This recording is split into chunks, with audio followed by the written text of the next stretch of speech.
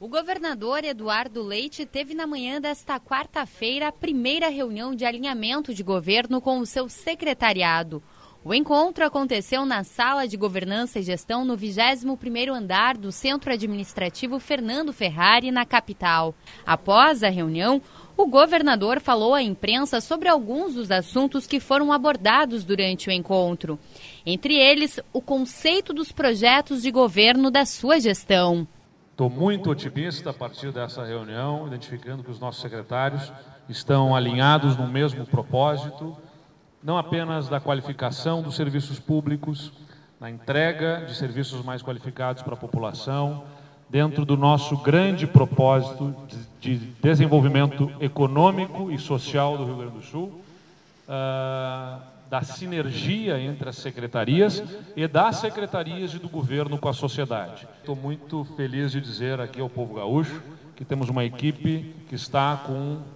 brilho no olho, com entusiasmo para poder atender às expectativas da população. Ao final da reunião, o governador assinou seis decretos, todos eles com medidas relacionadas ao ajuste fiscal, entre elas o controle de despesas de custeio e de pessoal, programação orçamentária de janeiro de 2019, tratamento das despesas de exercícios anteriores, uma força-tarefa para a renegociação de contratos, planos de trabalho para o incremento das receitas e a sua simplificação. Nós estamos determinando uma redução em contratos de custeio, em despesas de custeio como um todo,